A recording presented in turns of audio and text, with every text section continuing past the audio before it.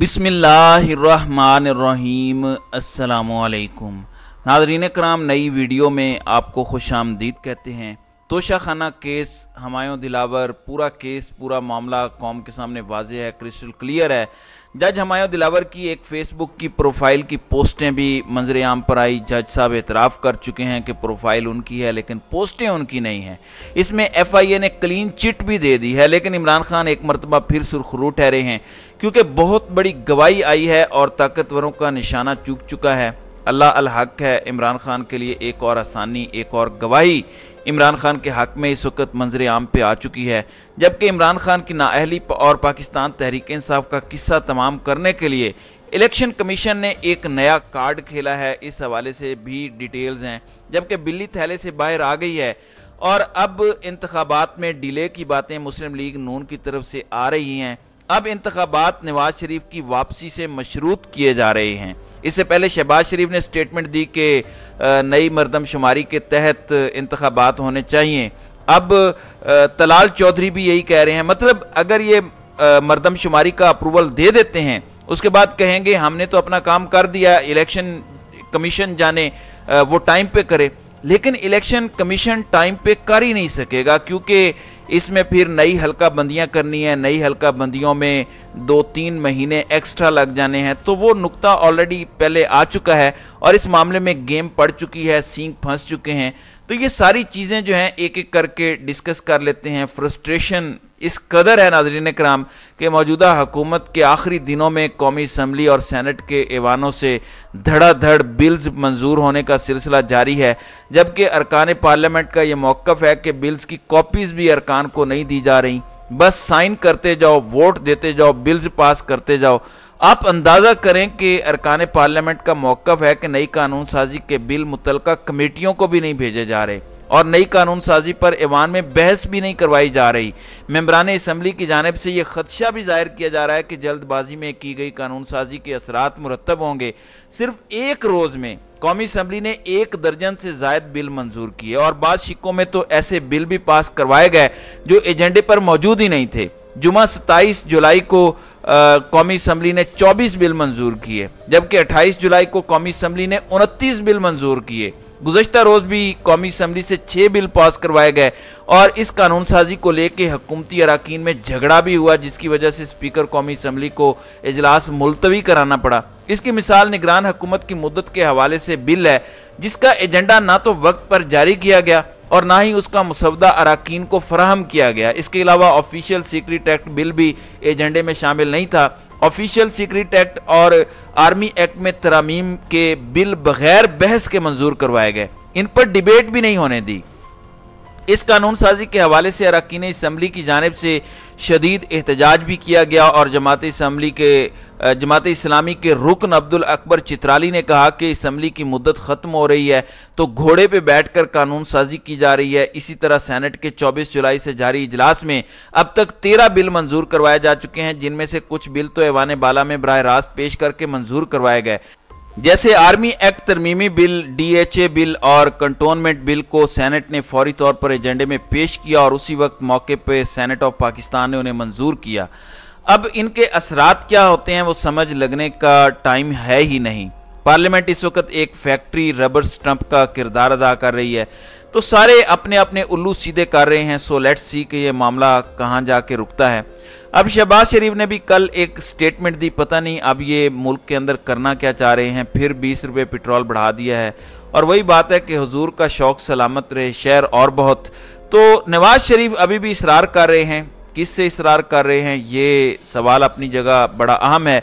फिर ये होगा फिर आ, फिर भरपूर वैर होगा पीपल्स पार्टी और इन सब के साथ।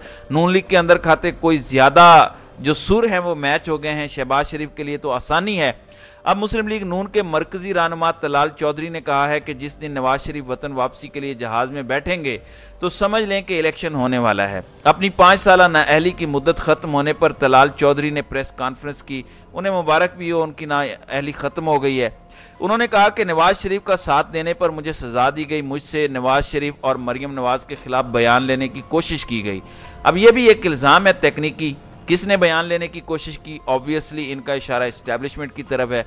मुस्लिम लीग नून के रहनुमा तलाल चौधरी ने कहा कि किसी सियासी जमात पर पाबंदी आयद करना हमारी ख्वाहिश नहीं। इलेक्शन कराने की असल ज़िम्मेदारी इलेक्शन कमीशन की है और इंतबात तो वक्त पर होने चाहिए। उन्होंने कहा कि नवाज़ शरीफ लंदन हो या लाहौर, मुल्क सियासत उनके गिर्द घूमती है। जिस दिन नवाज़ शरीफ जहाज़ में बैठेंगे, समझ लें इलेक्शन होने वाला है। दूसरी जानब, नवाज़ शरीफ ने भी तलाल चौधरी को बड़ी मुबारकबाद पेश की है। चले मुबारक को अब ये अमली सियासत में हिस्सा ले सकेंगे।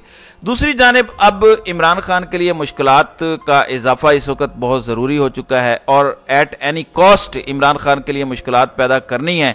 तो अब इंट्रा पार्टी इलेक्शन ना करवाने पर इलेक्शन कमीशन ने इमरान खान को चार अगस्त को तलब कर लिया है। इलेक्शन कमीशन की जानब से जारी एलामिया में कहा गया है कि इंट्रा पार्टी इलेक्शन ना होने पर पीटीआई इंतबी निशान लेने के लिए नाअहल हो सकती है। यानी पाकिस्तान तहरीक इंसाफ को इंतबी निशान ही अलॉट नहीं किया जाएगा।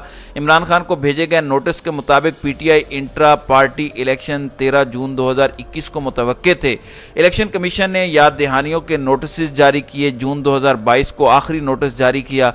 लेकिन अब मजीद तोसी नहीं होगी। इलेक्शन कमीशन के नोटिस में कहा गया है कि पीटीआई ने तरमीम शुदा आइन की कॉपी जमा करवाई जो नाकाफ़ी थी। चेयरमैन पीटीआई को चार अगस्त को जवाब के लिए तलब कर लिया है और इंट्रा पार्टी इलेक्शन करें, वरना आपको इंतबी निशान भी नहीं मिलेगा। इंतबी निशान लेने के लिए पाकिस्तान तहरीक इंसाफ एज अ जमात डिसक्वालीफाई हो जाएगी, नाअहल हो जाएगी, वो इसकी अहल नहीं रहेगी।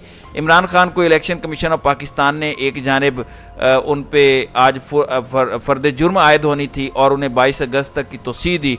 तो वहीं दूसरी जानब एक और केस में कहा कि आ जाओ। मतलब कहीं से कोई ऐसा मौका नहीं छोड़ा जा रहा, कोई ऐसा नुकता नहीं छोड़ा जा रहा जिसमें इमरान खान के लिए मुश्किल ना पैदा की जाए। मतलब इमरान खान के लिए किसी तरफ़ से कोई सांस लेने का ये मौका नहीं देना चाह रहे। हर तरफ़ से हमला आवर होकर ये मुकम्मल तौर पर चीज़ें करना चाहते हैं। नाजरन कराम अब यहाँ पर एक बहुत बड़ी चीज़ सामने आई है। आपको पता है इमरान खान के खिलाफ तोशा खाना केस, जज हमायूं दिलावर। इमरान खान ने कहा कि बुलाएँ मिलिट्री मिलिट्री सेक्रेटरी को। जज साहब इस पर भी नहीं आ रहे। जज साहब ने कहा कि कल मैं फैसला, मैंने, मैं फैसला महफूज कर लेना है। ऑल दो कल इस्लामाबाद हाई कोर्ट में भी ये केस चलना है। इसके साथ परसों सुप्रीम कोर्ट में भी ये चीज़ आनी है। अब वहाँ से पता नहीं रिलीफ मिलता है कि नहीं। और सुप्रीम कोर्ट में परसों केस लगने से पहले इस्लामाबाद में ही कुछ ऐसा कर दिया जाता है कि जज हमायों दिलावर के लिए आसानियाँ हो जाएँ। अब जज हमायूं दिलावर से मुतलिक एफआईए को इस्लामाबाद हाई कोर्ट ने एक टास्क दिया हुआ था। इस हवाले से एफआईए ने रिपोर्ट दे दी है। अब एफआईए राना सनाउल्ला के अंडर है तो एफआईए ने इस्लामाबाद हाई कोर्ट के अहकाम की रोशनी में तोशा खाना केस की समात करने वाले जज हमायूं दिलावर की मुबैना सोशल मीडिया पोस्ट के मामले पर टेक्निकल एनालिसिस रिपोर्ट दी है। तकनीकी तजियाती रिपोर्ट अदालत में जमा कराई है। उसमें जज साहब को क्लीन चिट मिल गई है। एफ़ आई ए रिपोर्ट के मुताबिक मुबैना फेसबुक पोस्टों के स्क्रीन शॉट्स का कोई यूआरएल मौजूद नहीं है। फेसबुक हर प्रोफ़ाइल पेज और पोस्ट को खुद खुद ब खुद एक यूआरएल देता है। फेसबुक पोस्टों की शनाख्त यू के बगैर स्क्रीन शॉट से मुमकिन नहीं है। Was a screen recording it was not a screen shot screen recording edit करना भी इट्स नॉट पॉसिबल इसके साथ ही साथ आपको मैं ये बता दूँ it's not that easy screen recording वो करना और ऐप के अंदर कौन सा URL होता है? अगर आप ब्राउज़र से लगाएँ तब आता है। फेसबुक ऐप के अंदर तो यू uh, नहीं शो होता। अभी सब के अंदर रिपोर्ट में कहा गया है कि जज हमायूं दिलावर की फेसबुक अकाउंट से की गई तमाम पोस्टों का तफसीली जायज़ा लिया गया। जज हमायूं दिलावर के अकाउंट से मजकूरा तीन पोस्टों में से एक भी अब मौजूद नहीं है। एफ़ आई ए ने कहा कि हमायूं दिलावर के नाम से अकाउंट का बाकायदा यू नंबर मौजूद है। उनका अकाउंट 2014 में बना, जिस पर जाती पोस्टें मौजूद हैं। रिपोर्ट के मतन में बताया गया है कि एफ़ आई ए को इस्लामाबाद हाई कोर्ट से तीन स्क्रीन शॉट्स भिजवाए गए। मुबैना स्क्रीन शॉट्स में से दो इक्कीस जुलाई 2014 जबकि एक यकम मार्च 2014 का था। ख्याल रहे कि चेयरमैन पी टी आई के वकला ने ट्रायल कोर्ट के जज की तब्दीली के लिए इस्लामाबाद हाई कोर्ट में दरखास्त दायर करते हुए मौकफ अपनाया था कि जज हमायूं दिलावर के चेयरमैन पी टी आई के खिलाफ मुबैना फेसबुक पोस्ट मौजूद हैं, इसलिए उन्हें मुकदमे से अलग कर दिया जाए। अब इस पर इंतज़ार हुसैन पंजोथा ने ट्वीट भी किया कि एफ़ आई ए जज हमायूं दिलावर के फेसबुक अकाउंट की रिपोर्ट इस्लामाबाद हाई कोर्ट में जमा करवाई और कहा गया है कि ये अकाउंट असली है, लेकिन इस पर जिन पोस्टों का ज़िक्र है, यानी कि इमरान खान के खिलाफ जो पोस्टें हैं अकाउंट की वॉल पर अभी फ़िलहाल मौजूद नहीं है, लिहाजा इस वक्त उनके असली या नकली होने का कुछ नहीं कहा जा सकता। तो अगला बंदा डिलीट ही करेगा सबसे पहले। अब सारी दुनिया ने वो पोस्टें देखी हैं, वो स्क्रीनशॉट्स नई स्क्रीन रिकॉर्डिंग भी देखी हैं सोशल मीडिया पर सब कुछ मौजूद है। ये कहना कि अब वो मौजूद नहीं है, इसका हरगिज़ मतलब ये नहीं है कि वो झूठी हैं। हमायों दिलावर से इस अकाउंट की रसाई लें। और फेसबुक से रिपोर्ट लें, ऐसी जाली रिपोर्ट्स को कौम नहीं मानती, यानी पीटीआई ने मुकम्मल तौर पर इसे रिजेक्ट कर दिया है। नईम पंजोथा लिखते हैं कि जज हमायों दिलावर की इमरान खान के खिलाफ तोहन आमेज पोस्ट पर मबनी अकाउंट पर एफआईए की रिपोर्ट को यूआरएल और लिंक की अदम दस्याबी की वजह से पोस्टें ना मिल सकी। कितनी मजाका खेज बात है। जज ने यह नहीं कहा कि उसका अकाउंट हैक हुआ, जिसका मतलब है पोस्ट उनकी अपनी है। फेसबुक से एफ़ आई करके पोस्ट की असलियत का पूछ सकती है। सोशल मीडिया सार्फिन ने और सीनियर सहाफ़ियों ने इस अकाउंट पर मौजूद पोस्टें देखी हैं, इसके स्क्रीन लिए हैं। अब एक बहुत बड़ी गवाही भी आई है साकिब बशीर, बहुत मंजे हुए सहाफ़ी हैं और बड़ा अच्छा काम करते हैं। उन्होंने एक ट्वीट किया है, ये वो गवाही है जो इमरान खान के हक में आई है और जज हमायों दिलावर के लिए ये गवाही बहुत सी मुश्किल क्रिएट करेगी। सहाफ़ी साकिब बशीर ने लिखा कि पोस्टें जाली हैं या नहीं, लेकिन एक बात तय है ये ऐसी पोस्टें इस अकाउंट की हैं जिसको जज साहब ने तस्लीम किया, क्योंकि इस फेसबुक अकाउंट का प्रोफ़ाइल लॉक होने से पहले दो तीन दफ़ा मैंने खुद उनकी टाइम लाइन पर ये देखी और वो पोस्टें मौजूद थी। बाद में प्रोफ़ाइल को लॉक किया गया, प्रोफ़ाइल को छुपा दिया गया। मतलब ये चीज़ साकिब बशीर भी कंफर्म कर रहे हैं और नईम पंजोथा ने भी लिखा कि बहुत से सीनियर सहाफ़ियों ने ये पोस्टें अपनी आँखों से देखी हैं। बहुत से लोगों ने इसे एक्सेस किया, गवाहियाँ मौजूद हैं। और ये एक बहुत इंपॉर्टेंट चीज़ है, इस चीज़ को जितना अहम समझा जाए, मैं समझता हूँ इसकी अहमियत को इग्नोर नहीं किया जा सकता।